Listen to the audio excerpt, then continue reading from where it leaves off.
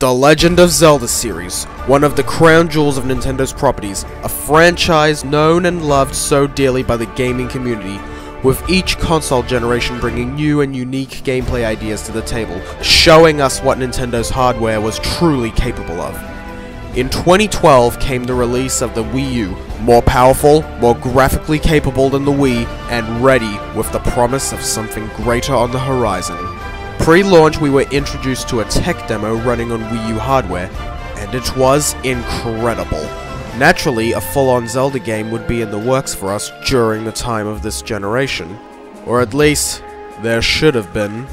For months and months, there was nothing. Fans had to sit and wait. E3 2014, we were shown a teaser trailer of Hyrule Warriors. Was this the new title? No. It showcased great graphics and Dynasty Warriors styled gameplay. This spin-off title released later that year. Hopes for seeing a new mainstream Zelda game was not lost. A placeholder title called The Legend of Zelda revealed what we had been hoping for. A beautiful landscape and then a horseback chase revealing our hero. The game would release in 2015. However, it did not.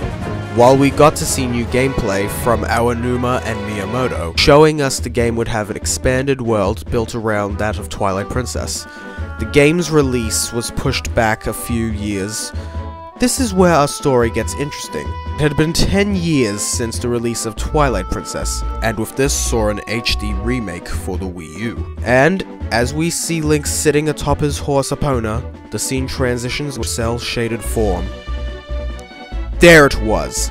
Zelda Breath of the Wild.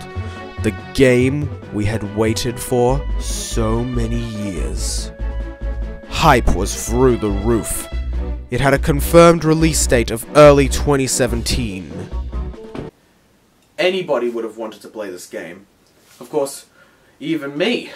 I've been a dedicated Zelda fan for as long as I can remember, ever since I was little. And for people just like that, Nintendo of Australia's newsletter posted a competition for a few select players to get a chance at the game in the EB Expo of 2016. And who did one of their winners happen to be? Oh yeah, that's right! Me! Well, off to Sydney then!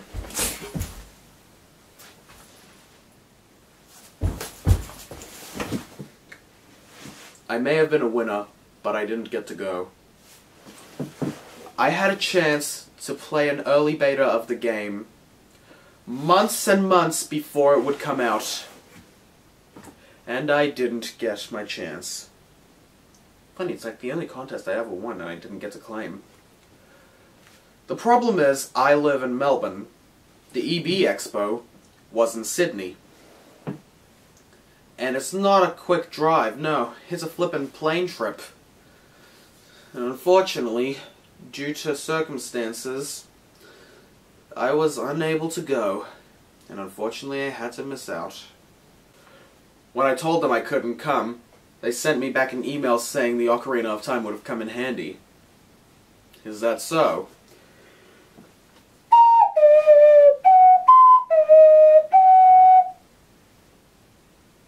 No, no it wouldn't.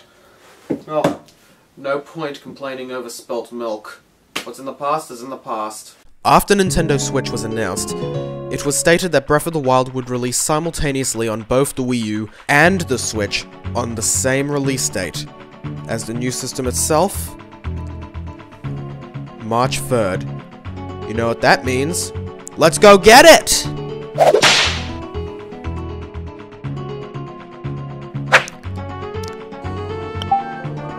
The game requires a 3 gig install, so you're gonna need a USB stick, but it's well worth it. Please enjoy the opening cinematic.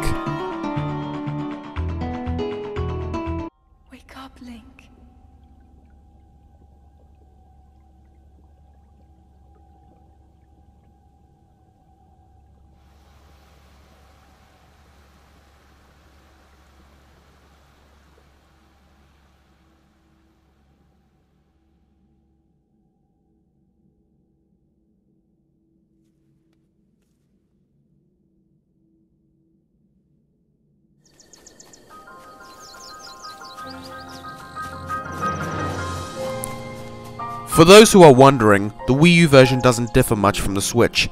It's all very minor and you probably wouldn't notice it.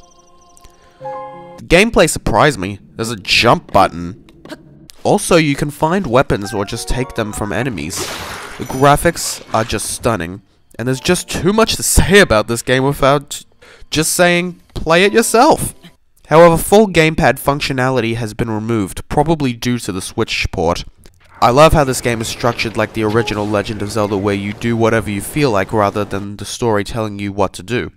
As a matter of fact, they've been using a prototype they made for testing ideas in the style of the original Zelda.